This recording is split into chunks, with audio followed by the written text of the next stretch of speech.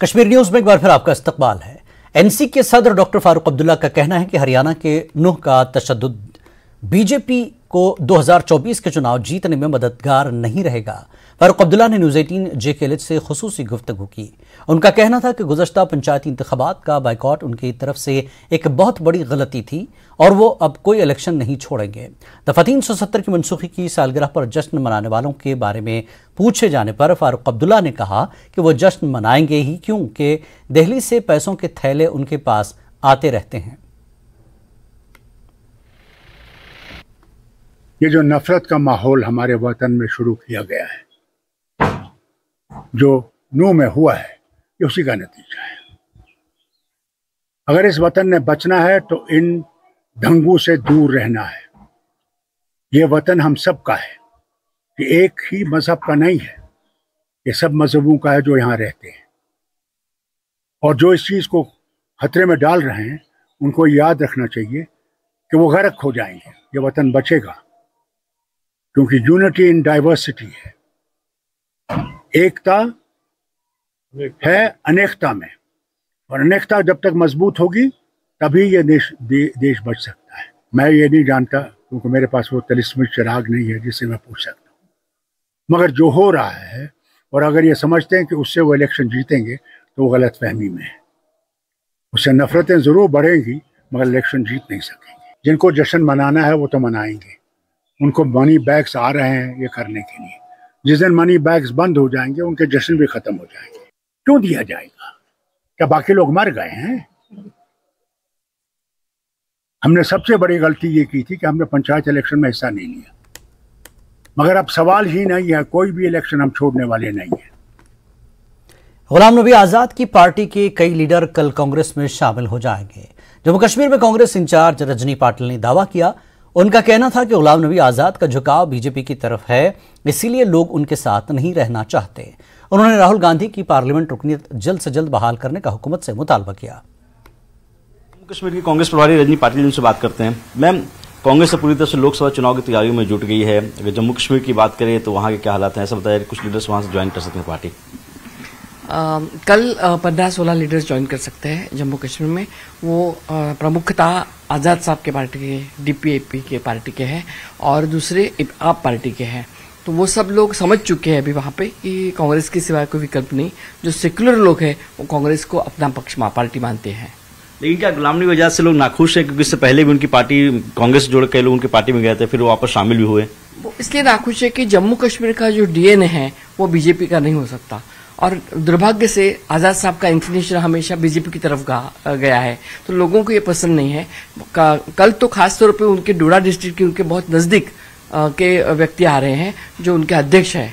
तो वो आ रहे हैं। मुझे लगता है कि लोगों को जम्मू कश्मीर के लोगों को ये करते ही पसंद नहीं कि इस तरह से बीजेपी की बी टीम करके हम काम करेंगे। इसलिए वो कांग्रेस में शामिल होना चाहते हैं। और ये जो ज्वाइनिंग होने वाली लीडर्स के जम्मू कश्मीर के ये क्या दिल्ली में होगी या जम्मू कश्मीर में होनी है? दिल्ली में होगी जो फ़र्स्ट रैंक लीडर्स है वो कल दिल्ली में करेंगे। खरगे साहब कांग्रेस प्रेसिडेंट के घर पे जिसमें हमारे वेणुगोपाल जी भी हाजिर रहेंगे। और फिर दूसरा ज्वाइनिंग जो कार्यकर्ताओं का है वो हम जम्मू में जाके उनका करवा देंगे।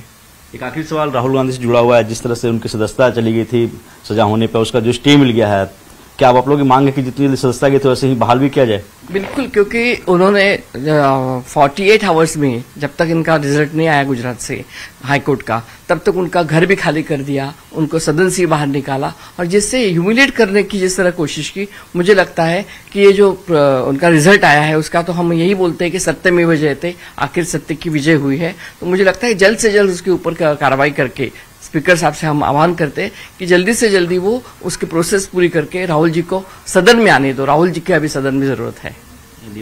शुक्रिया। वीडियो जर्नलिस्ट प्रकाश गुप्ता के साथ रवि सिसोदिया, न्यूज़ एटीन, दिल्ली। वज़ीर अजम मोदी ने अमृत भारत स्कीम के तहत 508 रेलवे स्टेशनों को अपग्रेड करने के मंसूबे की बुनियाद आज रख दिया है। पीएम मोदी वीडियो कॉन्फ्रेंसिंग के ज़रिए मुख्तलिफ़ प्रोग्रामों से जुड़े इस मौके पर पीएम मोदी का कहना था कि मुल्क अब तरक्की की राह पर गामजन है और भारतीय रेलवे अब बड़े फैसलों की अलामत बन चुका है। उन्होंने कहा कि इन 508 रेलवे स्टेशनों की जदीदकारी से मुसाफिरों को वो सहूलियात मिलेंगी जो उन्हें हवाई अड्डे पर मिलती हैं। दर्जनों स्टेशनों को चौबीस हज़ार चार सौ सत्तर करोड़ रुपए से ज़्यादा की लागत से अपग्रेड किया जाएगा। ऐसे स्टेशनों की फहरिस्त हिमाचल के हम इंदौरा रेलवे स्टेशन का नाम भी शामिल है। इसके अलावा जम्मू कश्मीर के उधमपुर, जम्मू और बडगाम के रेलवे स्टेशनों को भी अपग्रेड किया जाएगा।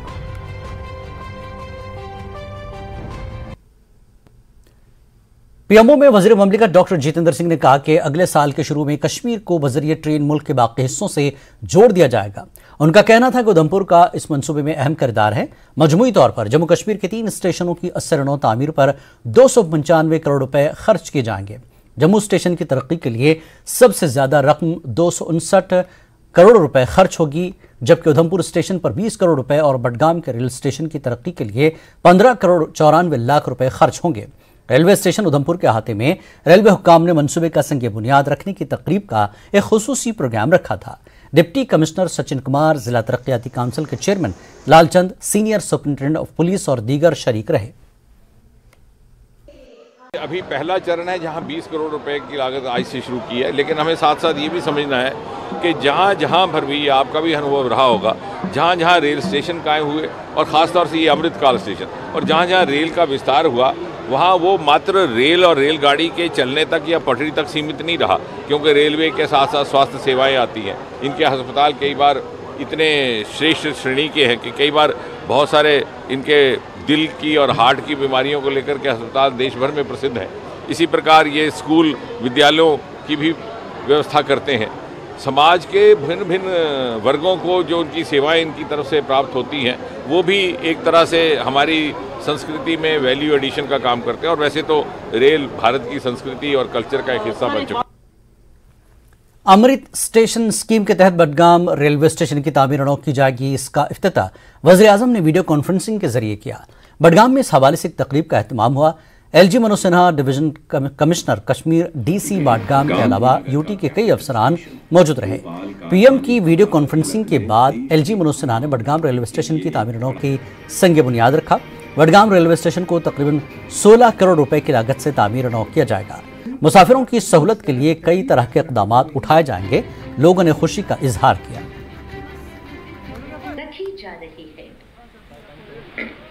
तो इसमें तो हर कोई किसी चीज़ की सुविधा रखी गई है। जैसे हमने सुना जो हमने अभी पढ़ा जो हम नरेंद्र मोदी जी से सुन रहे थे जो उन्होंने कहा या हमारे ऑनरेबल लेफ्टिनेंट गवर्नर साहब ने जो कहा इसमें हर किसी की इसका ख्याल रखा गया है। जैसे कोई अपाइज हो, उसका ख्याल रखा गया है। चाहे कोई एल्डर हो, उसका ख्याल रखा गया कोई बच्चा हो, उसका ख्याल रखा गया है। इसमें हर किस्म की फैसिलिटी होगी। जैसे एयरपोर्ट पे होती है, उसी तरह की हर फैसिलिटी इसमें भी होगी। जम्मू के रेलवे स्टेशन पर भी एक तक, शानदार तकरीब मुनद की गई थी। मुल्क के 508 रेलवे स्टेशनों की तामीरों का संगे बुनियाद रखने के लिए मुनदा प्रोग्राम में जम्मू स्टेशन भी वर्चुअल तरीके से शामिल हुआ। इंटरनेट की सहूलत lounges waiting hall parking slot और मुसाफिरों के लिए बरह रास्त शहर से बाहर निकलने की सहूलत देने का आज़म ज़ाहिर किया गया। लोकसभा रुकन जुगल किशोर ने कहा कि ये एक तारीखी फैसला है और जम्मू के लोगों के लिए एक तोहफा है। रेलवे के डिप्टी चीफ इंजीनियर ने अमृत भारत रेलवे स्कीम के तहत जम्मू तवी रेलवे स्टेशन की तरक्की के मनसूबे की तफसील हमारे नुमाइंदे को बताई। हमें तो खुशी इस बात की है कि ये जो हमारा जम्मू तवी रेलवे स्टेशन है, विशेष तौर पर यहाँ पर बहुत सी सुविधाओं की कमी थी।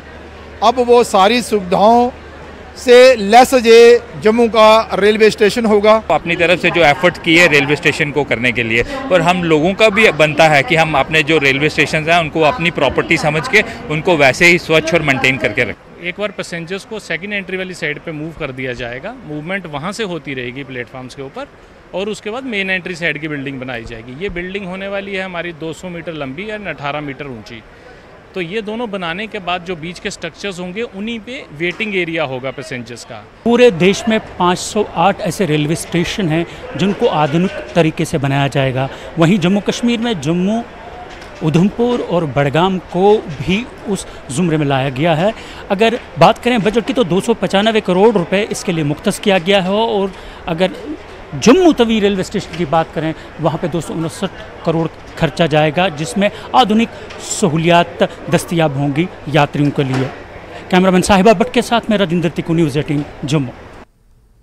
श्रीनगर के खानियार इलाके में एक लिंक रोड की मरम्मत न होने की वजह से लोगों को मुश्किल हो रही है। इस खस्ता हाल सड़क पर गड्ढे पड़ चुके हैं, जिसकी वजह से सड़क से आने जाने वालों के लिए खतरात पैदा हो गए हैं। यहाँ के मकीनों ने बताया कि सड़क पर ऐसे गड्ढे होने से हादसा होते रहते हैं। उन्होंने नाराज़गी ज़ाहिर करते हुए कहा कि गुजशत पाँच साल से मुतल हुकाम मरम्मत कराने का सिर्फ़ यकीन दिलाते आ रहे हैं।